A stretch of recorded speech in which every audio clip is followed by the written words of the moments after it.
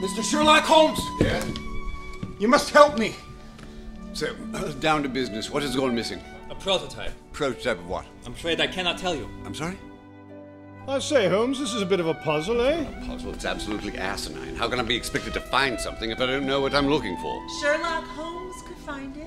There's a web being woven. A dark web with a deadly black widow spider at its center. Remind you of anyone? Marie Chartier! You called? And so we meet again, as I knew we would. And allow me to introduce you to my newest invention, the Tesla Death Ray. Do you hear that sound, my friends? That is the sound of peace for mankind. Or not. Hold on now. What? Stop that! What? Maybe 100,000 volts will jog your memory about the money you owe me. See, he's crazy. Choosing the Death Ray's first victim, who shall it be? Its own creator? Its hated rival?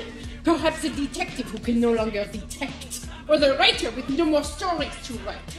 I need to commit the perfect murder, and there is only one person in this room who is already dead. For God's sake, what is it? A ghost machine, if you will.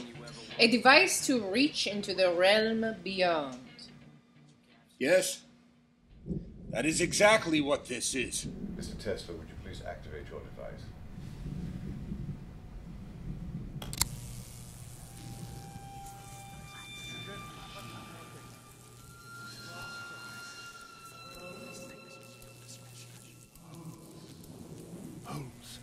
Then, we are ready to begin.